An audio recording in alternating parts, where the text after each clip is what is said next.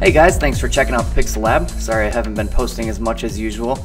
Been very busy freelancing, but uh, I found out a cool little technique on a project recently I want to share with you. And it's based on this image where you can see this player, and in the video this guy is actually moving. He's rotoscoped out and he's uh, running across the field. And as he's running, uh, these pixels, these shards are kind of bleeding off of him. They're, they're shedding off as he's running. It's a really cool technique. I think this was probably done in After Effects uh, with Particular or something, but I'm going to show you a quick way to do it in Cinema 4D. Um, so the first thing I did was I rotoscoped out a vehicle and I went ahead and put it in the color channel and then also in the alpha channel so that it's uh, cut out here. And then I put it on a polygon object. Now if we put it on a plane, the problem with that is that all of these uh, polygons are squares, right? We do not want that because we want the shards like this image to be sort of triangular. So if we put it on a polygon, which is um, right here, a polygon object, um, if we put it on a polygon, it comes in the same way that a plane does, but we have this option to click triangulate. And if we click that, you can see that it changes the polygons into uh, triangles, which is perfect. Uh, because what we're going to be using is the PolyFX tool. So let's go ahead and add the PolyFX tool and let's put that inside the polygon. So what we're going to do is actually use fall off. So let's go to the fall off tab and let's change that to box. And let's pretend that the, uh, the shards of uh, particles want to be coming off the back of this car. So we'll put the box over here. Now what we need to do is change the parameters for this guy. So go to the transform tab and you can see that we're moving the particles based on that fall off.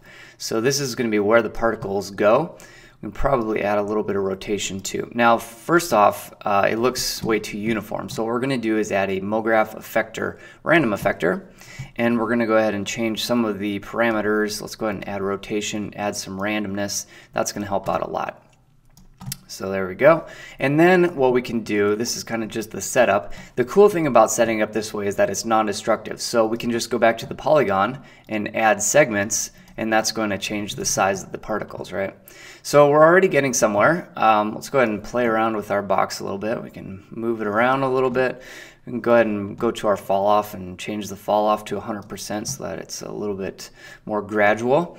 So already you kind of see the basic uh, deal right here. We'll probably want to kick up our random a little bit, add a bunch of random rotation, and maybe even a little bit of positioning. That'll help out a lot. All right, so the cool thing is now what we can do is we can duplicate this entire thing and go into the second one and add a bunch more geometry. All right, so now we have some smaller pieces in there too. One thing that we can also do is, let's go ahead and uh, click both of our PolyFX and make a keyframe on the transform position. We'll go back to the beginning and then let's just modify the position on each of these so that the uh, particles go back sort of towards their beginning spot. Let's go ahead and make a keyframe. Go ahead and do the same with the smaller ones and make keyframes. So now if we hit play, you can see that we're having these particles sort of slowly uh, drifting off of this vehicle. And you can imagine if this vehicle is rotoed out and moving and having these particles slowly sort of shedding off of the back of it, um, that's going to look pretty cool.